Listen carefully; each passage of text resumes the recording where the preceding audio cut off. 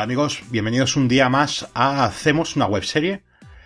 En el capítulo de hoy voy a continuar con el análisis que empecé ayer de la Escuela de Cine en 10 minutos de Robert Rodríguez. Ayer nos quedamos en la parte del guion en la que comentaba que lo mejor antes de empezar a escribir el guion es tener claro qué equipo tenemos, tanto a nivel material como equipo humano. Y de saber también, muy importante, cuáles son nuestros conocimientos. De esta manera, si tenemos claro cuál es tanto el equipamiento como el personal como nuestros conocimientos, podremos hacer una historia que luego se pueda llevar a imagen, se pueda rodar, se pueda montar, y luego ya pues con ese material o bien lo distribuimos a través de internet o lo llevamos a festivales o bueno, hacemos lo que sea. El siguiente punto que toca Robert Rodríguez es sobre cómo visualizar una película y explica que podéis visualizar vuestra película y dibujarla, pero lo que deberíais hacer es poner vuestra cabeza en blanco y ver vuestra película. Cerrad los ojos y quedaos allí.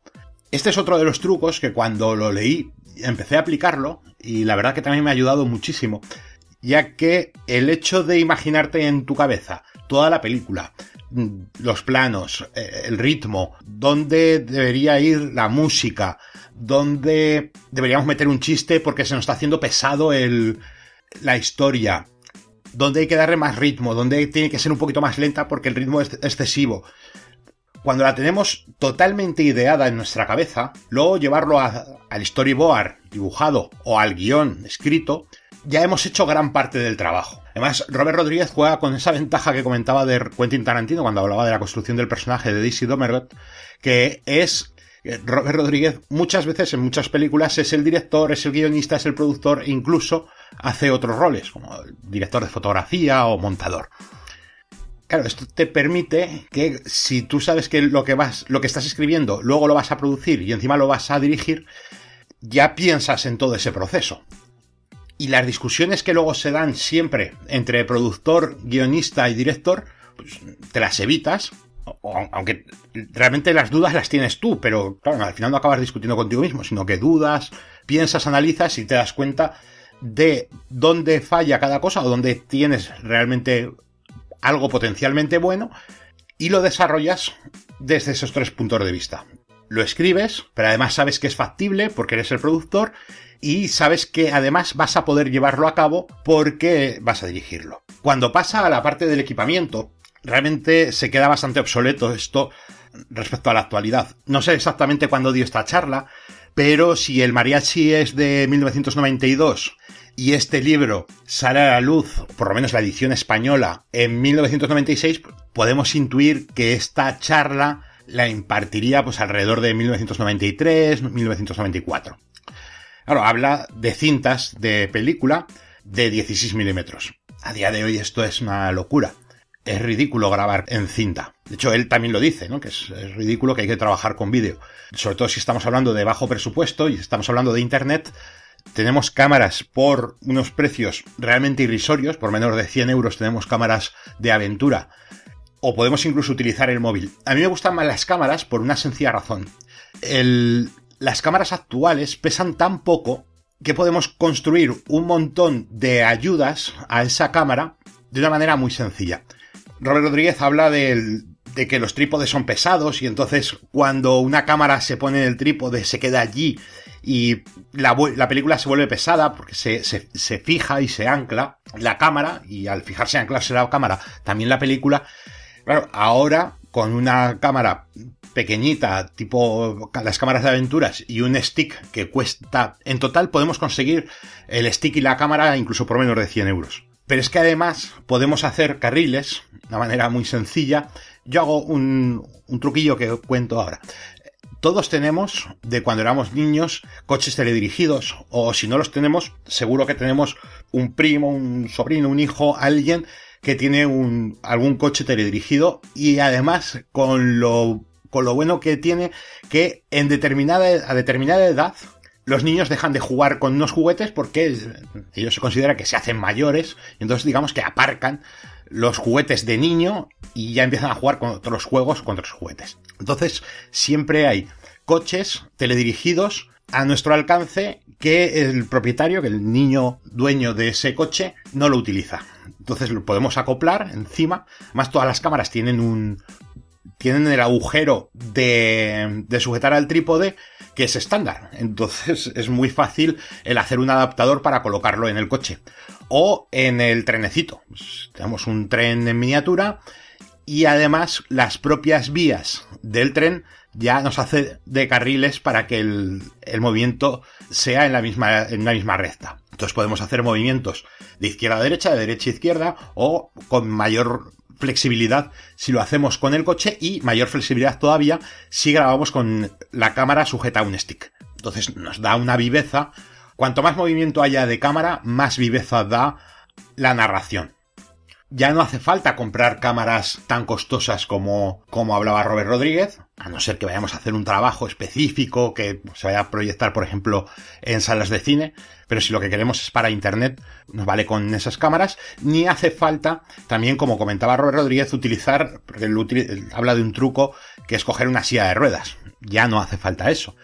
Otro truco que os voy a comentar. A mí desde niño siempre me ha encantado desmontar aparatos que no funcionan. Y hay un aparato que me encanta, que son las impresoras. Más las impresoras, como el, el coste de la tinta a veces supera al coste de la propia impresora, pues mucha gente se quita impresoras.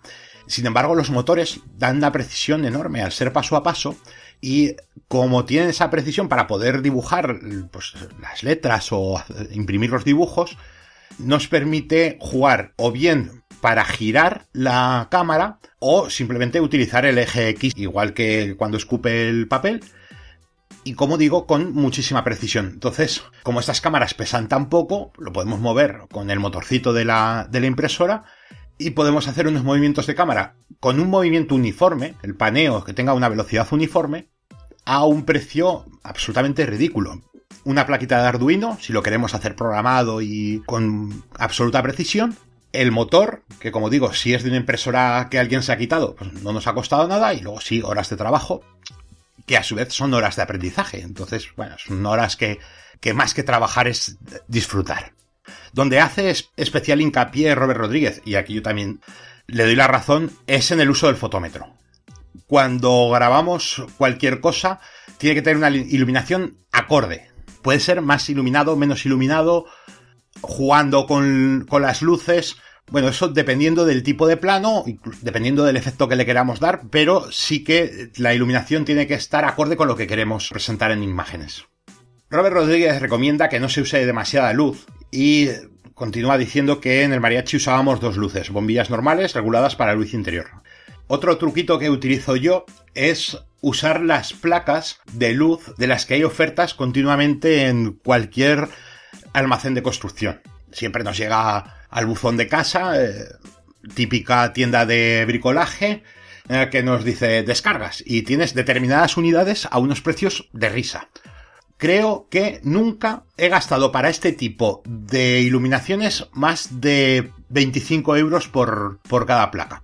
Al gastarme tan poco, me permite tener muchas más. Es decir, el mismo capital, si unitariamente cuesta muy poco, puedo comprar muchos más puntos de luz distintos. Siempre compro mínimo de dos en dos para poder hacer juegos, iluminar, pues por ejemplo, el lateral y frontal, o desde eh, adelante y atrás, superior y en 45 grados, bueno, ya dependiendo del, del aspecto que quiera dar. Y como digo, siempre compro productos, lo primero que sean de LED, para que pueda ser regulable. Entonces puedo regular mayor o menor intensidad si hay alguna oferta interesante en RGB, también suelo usar RGB o combinar RGB con blanco para poder colorear las escenas a mi interés e incluso en la propia escena que haya una evolución del color. Por ejemplo, dejamos la cámara fija y podemos ir cambiando la tonalidad del color o, bueno, tampoco necesariamente tiene que estar la cámara fija, sino que en el mismo plano esté la cámara fija o en movimiento y mientras tanto modificando la tonalidad del color. Entonces nos permite hacer eh, escenas más cálidas o más frías, más lúgubres, más luminosas y en dos modalidades. O bien lo manejamos a mano, la intensidad y la potencia, o lo automatizamos. También con Arduino podemos automatizar esos juegos de colores y nos permite que no necesitemos a una persona que esté regulando las luces y además nos permite también una precisión mayor que si hay alguien dándole una ruleta. Pues le decimos intensidad de tanto a tanto y hace un degradado o eh, ilumina cada vez más o desvanece progresivamente, pero con una uniformidad en la velocidad. Si alguien no ha trabajado con iluminación en LED, se lo recomiendo totalmente, pero sobre todo lo que recomiendo es aprender a manejar Arduino y Raspberry. Ya hablaré más adelante de estas dos placas, porque cambia totalmente la vida de cualquiera del que empieza a utilizarlo. De repente poder automatizar un montón de procesos, tener el control absoluto de lo que hacen las máquinas y no depender de que el técnico de luces venga o no venga, o que el sonido se reciba mejor o peor, sino que una plaquita de 20 euros nos haga ese trabajo, ojo, una plaquita de 20 euros que la tenemos ya hace infinitum. Generalmente hay que ahorrar, y siempre digo que hay que ahorrar en las producciones. Pero claro, hay aparatos que como una vez que lo compramos ya lo tenemos para darle todos los usos que queramos, pues aunque nos gastemos 20 euros en una placa, le sacamos mucho rendimiento, porque no es solamente para esa producción. Es que una vez que ya lo tenemos, forma parte de nuestro activo y por lo tanto podemos utilizarlo muchas más veces. Continúa hablando de la postproducción y otra vez habla aquí de una cosa que se ha quedado obsoleta, como digo, pues ya hace 20 eh, años ya de eso. En estos 20 años todo ha evolucionado muchísimo y la tecnología más. Sobre todo el hecho de la producción audiovisual a través de Internet, pues ha hecho que, como comentaba, esas cámaras de aventura sean por unos precios muy eh, económicos. El software de edición de vídeo también ha, mejorado muchísimo, de edición de fotografía, eh, la iluminación también ha cambiado, entonces esta parte se ha quedado totalmente obsoleta, aunque el fundamento sigue estando vigente. Es obvio que trabajar con cinta de cine ya era ridículo en, en 1992, ahora en 2017 es que es un anacronismo totalmente absurdo. Yo he trabajado mucho, de hecho he tenido dos, dos moviolas de cine donde llevaba mantenimiento para evitar salgan honguitos y para restaurar películas viejas. Y es horroroso. Es, es, es cansino. ya la propia forma de la mesa, ver un mazacote de hierro tan pesado, no incita a trabajar con eso. A mí me suponía un cansancio físico solamente de verlo. Encima tienes que pasar por un montón de rulillos la cinta de película y ese era un proceso también bastante farragoso.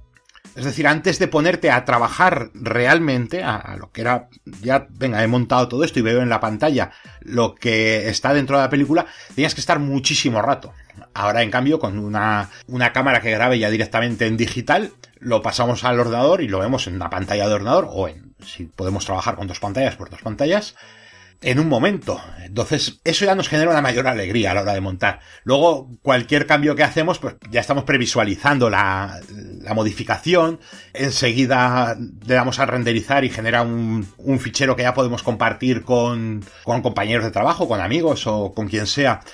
Y esa velocidad a la hora de, de ver los resultados, ayuda muchísimo a la motivación personal de cada del individuo. A mí me pasa mucho, ¿eh? Yo tener que ponerme a trabajar con cinta me genera angustia. O me generaba, ya no tengo las, las moviolas. Pero era una cosa que era, era odioso el, el, proceso. Sin embargo, trabajar en digital, eso de estar viéndolo ya inmediatamente, cualquier cosa que haces, ves los resultados, ves cómo va cambiando el etalonaje, vas, puedes compartir esos avances enseguida. Incluso ahora, pues con los móviles te pasas un fragmento de vídeo, te lo pasas al móvil, el móvil lo mandas por WhatsApp o por la tecnología que sea, se lo mandas a alguien para que vaya viendo los resultados, para que vea la evolución. Eso da una alegría, porque además enseguida cuando lo mandas a alguien te va diciendo si le gusta, si no le gusta, te aporta ideas. Eso motiva muchísimo. Claro, pues el mundo evoluciona, la tecnología evoluciona y las máquinas nos hacen más felices. Con esto acabo este capítulo de hoy de Hacemos una webserie y os agradezco el haberme escuchado. Sobre todo en estos dos capítulos, que aunque Robert Rodríguez habla de 10 minutos, yo ya me he pasado, he hecho más del doble, pero quería analizarlo y sobre todo quería darle mi visión aportando pues estos pequeños truquillos que, que yo utilizo porque del mismo modo que a mí me ha servido el aprender los trucos de Robert Rodríguez, igual que los trucos de mucha otra gente, pues seguramente a otras personas también le interesará el aprender aquellos trucos que he ido adquiriendo pues, años tras año de, de estar trabajando en el sector. Espero que así sea y bueno, me gustaría que si alguien quiere aportar algún truco, alguna idea o incluso si quiere agradecer lo que he aportado yo, lo dejéis aquí abajo en los comentarios para que más gente pueda aprovecharse de vuestro conocimiento. Muchas gracias y nos escuchamos mañana.